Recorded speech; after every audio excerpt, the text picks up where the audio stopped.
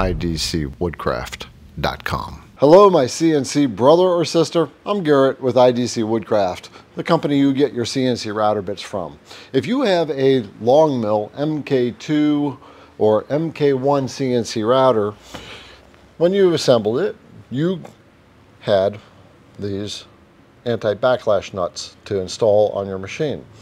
Well, these work okay, but you probably had a little experience of maybe the machine binding and trying to get this adjusted right when you have to tighten that up to take the slack out of the, lead screw here. Well, Longmill has since improved these to this style here. And what this does, as opposed to having this little fork type of contraption that's going to pull on the threads or push on the threads, this actually squeezes the threads together, squeezes together and prevents the backlash that way. So if you have a Longmill MK2, then I would suggest that you get these. They're relatively inexpensive and replace these, the old style anti-backlash nuts with the new style. And they will go right into the area right in here uh, for your for your Y rail, and then of course for your your X rail, which you can see mine is apart at the moment. That's because I'm servicing my Longmill deep dive service. It's been running for two years and I haven't really tore it apart to really clean it up. And with any CNC router, you want to maintain it uh, periodically and every once in a while do a very deep dive clean up on it, maintenance on it, make sure all the bolts and fasteners are tight. So the reason I'm doing this too is because I'm adding a spindle to my Longmill. You probably have the Makita router on your Longmill and you know how, my, how loud that is and sometimes they burn out you might have experienced that. That's why I'm upgrading to a spindle. There's spindle kits that are available for the Longmill MK2 made by PwnCNC. It's basically a plug and play.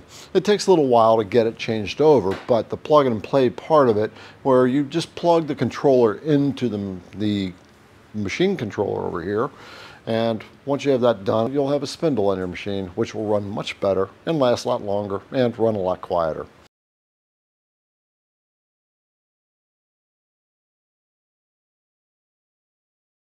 With the anti-backlash nut, you want to make sure that the spring loading and the screws is pointed towards the front of the machine.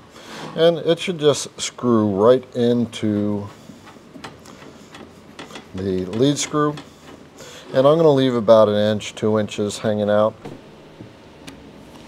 So now we're I'm going to place the nuts into the hex holes and I'm just going to turn it slightly. Uh, when you put the nuts into the hex holes, you want to make sure the nylon is facing this way, the little red ring that you're going to find on your Longmill nuts.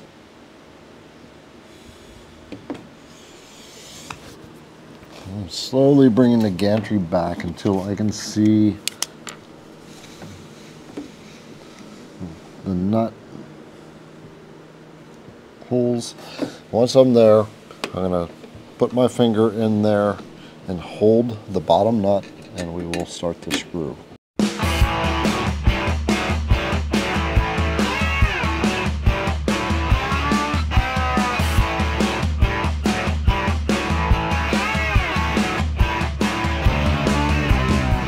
When you're tightening these anti-backlash nuts, they are nylon, so you don't want to over tighten, but you want it to be tight. So I'm pressing pretty hard against the hex wrench right now. So I'm very comfortable with that. We don't want to really wrench it over. The whole point of this video is to make sure you get these, these uh, new nuts, the new anti-backlash nuts. Get rid of these guys. I'll link that down below in the description so you can go right to that page on the website. Like I said, I think they're maybe $20 for a set of four. Go ahead and get this. It's a nice update on the machine. Make sure you check out the links down below. I'm Garrett with IDC Woodcraft, your CNC router bit supply company, and happy CNC. IDCWoodcraft.com